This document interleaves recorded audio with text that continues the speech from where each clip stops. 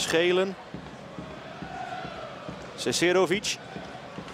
De boer mist, maar daar wordt hij ingeschoten. Het is 1-0 voor uh, Fortuna Sittard. En Danny Schreurs is de man van de goal. En daar zit je dan drie en een half uur uh, voor in de bus om snel op achterstand te komen. Ja, Voren kan daar gelijk profiteren, kan er 2-0 van maken. Oh, Nienhuis redt. Ze zijn bij Veendam daar toch behoorlijk van het pad af. Alleen de keeper dus niet. Schelen trapt en scoort uh, daar bijna de tweede goal. De Boer.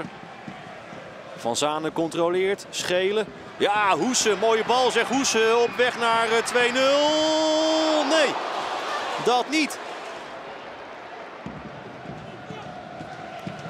Apau langs uh, ook langs Diaz. En inschieten Lamboy. Dat had de 1-1 uh, moeten zijn.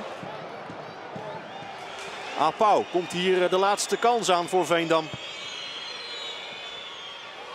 Veenstra. Nee, het zit erop. En wat een eenvoudige avond leek te worden voor eh, Fortuna Sittard. Draait uit in een hele moeizame en benauwde overwinning. Maar wel drie hele belangrijke punten in de race om de play-offs.